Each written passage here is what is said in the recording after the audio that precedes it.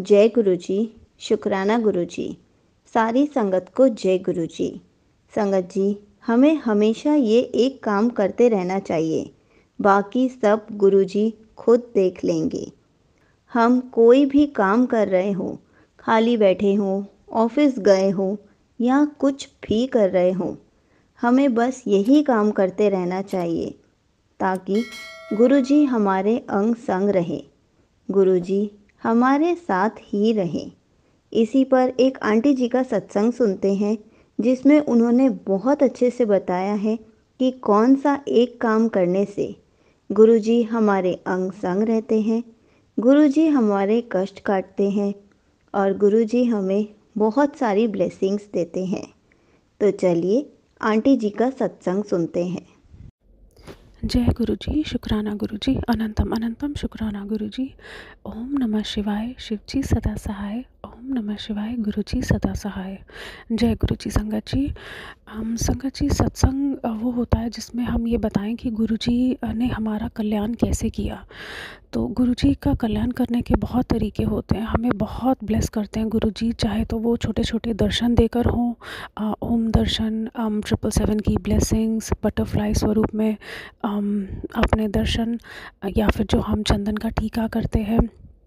उसके अंदर दर्शन देना, ये हमारी छोटी छोटी ब्लेसिंग्स होती हैं जिससे गुरुजी हमें अपनी प्रेजेंस फील कराते हैं।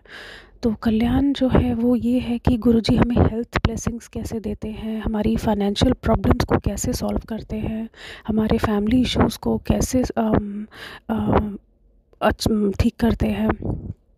और कैसे हमारी डे टू डे लाइफ में चेंजेस आते हैं, जो, जब हम गुरु जी से जुड़ते हैं और हमें काफ़ी चीज़ों का पता चलता है, जैसे कुछ लोग हमारी लाइफ से चले जाते हैं, दूर हो जाते हैं। वो क्यों होते हैं? क्योंकि गुरु जी चाहते हैं कि अब आप नेगेटिविटी से दूर हो जाएँ तो ये भी चीज़ है। तो गुरु जी का मैं क्या व्याख्यान करूँ? गुरु जी तो बस अपरम्पार हैं गुरु जी की महिमा बहुत अपरम्पार है। तो मैं एक्चुअली थोड़े टाइम से आ, मेरे मेडिकल हेल्थ इश्यूज़ चल रहे हैं।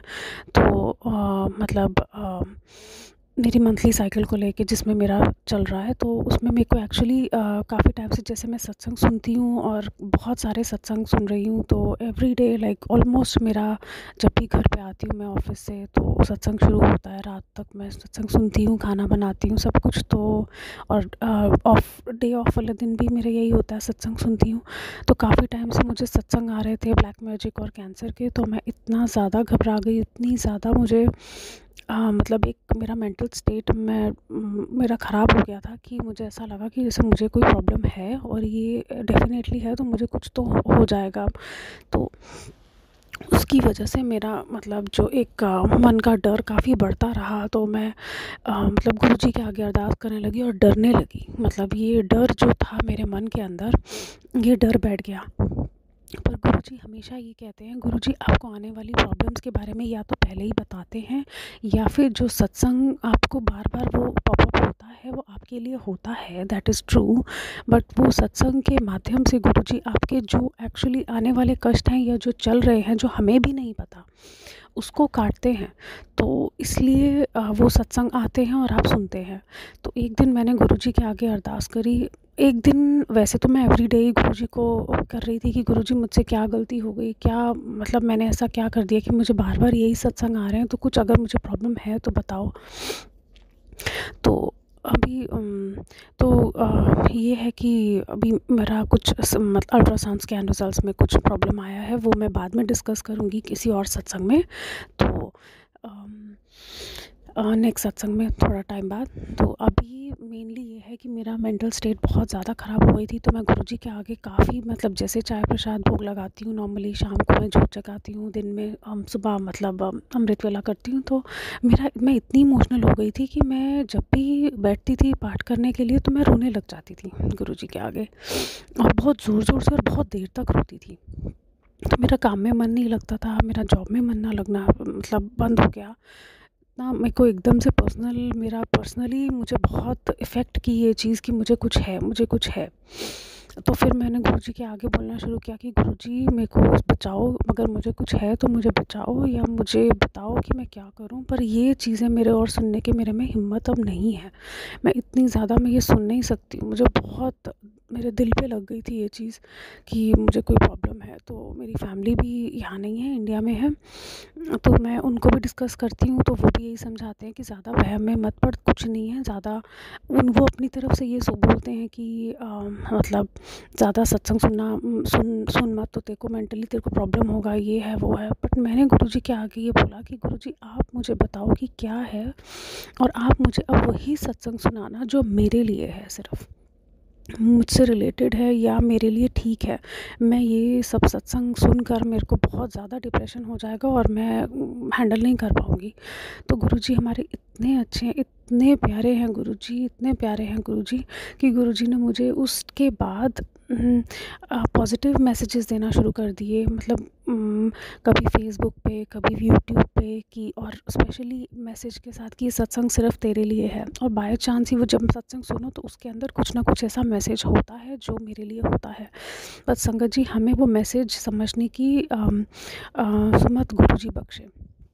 इतना ही मैं कहती हूँ क्योंकि हम जब सत्संग सुनते हैं तो क्या चीज़ हमारे लिए है वो गुरुजी हमें हिंट देते हैं ज़रूर देते हैं। हर सत्संग में एक हिंट होता है तो वो हमें समझने की ज़रूरत है कि हमारी लाइफ से हमारे आ, आ, मतलब जो प्रेजेंट सिचुएशन है या कोई ऐसी फैमिली में ऐसी सिचुएशन है जिससे रिलेटेड हमें समझना होता है कि वो मैसेज क्या है।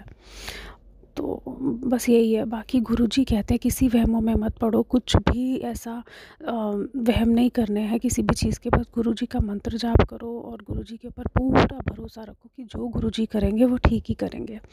और मैंने तो गुरुजी के आगे अपने आप को सरेंडर करके हाथ जोड़ के यही बोला है कि अगर गुरुजी कुछ भी प्रॉब्लम है, वो आप डील करो। आप देखो अगर है तो आपने मुझे बताया बट वो भी आपके हवाले। क्योंकि मैं सिर्फ़ एक ही एक ही मेरा तो मैंने तो एक ही लड़ लग चुकी हूँ वो है गुरु जी बस गुरु जी जो करेंगे जैसा करेंगे जै, वो ठीक ही होगा। तो गुरु जी पे इतना ट्रस्ट होना चाहिए संगत जी कि बस जब आप सब कुछ गुरु जी के हाथ में छोड़ोगे तो गुरु जी अपने आप आपको बेड़ा पार लगाएँगे। तो बस गुरु जी का मंत्र जाप ही करना सबसे सबसे सबसे एक मात्र एक ही चीज़ है। कोई प्रॉब्लम है गुरु जी का मंत्र जाप करिए। चाहे फाइनेंशियल प्रॉब्लम है हेल्थ प्रॉब्लम है, या जॉब से रिलेटेड है, या फैमिली की इश्यूज़ हैं, सब बस गुरु जी का मंत्र जाप करो। बस संगत जी, इतना ही आज के लिए। और मैं अपने सत्संग को विराम देती हूँ। जय गुरु जी शुक्राना गुरु जी ओम नमः शिवाय शिव जी सदा सहाय, ओम नमः शिवाय गुरु जी सदा सहाय। Thank you so much aunty ji आपने अपना सत्संग पूरे गुरु परिवार के साथ शेयर किया। आपने बहुत अच्छे से बताया कि अगर हम गुरु जी का मंत्र जाप करते रहें, ये एक काम अगर हम करते रहें तो गुरु जी हमारे अंग संग रहेंगे। और गुरुजी हमारे ऊपर कोई भी प्रॉब्लम नहीं आने देंगे। गुरुजी हमारे कष्ट भी कटा देंगे कि अगर हम पूरा दिन जपेंगे तो गुरुजी सब कुछ ठीक कर देंगे। हमारी लाइफ में हैप्पीनेस भर देंगे। जय गुरु जी शुक्राना गुरु जी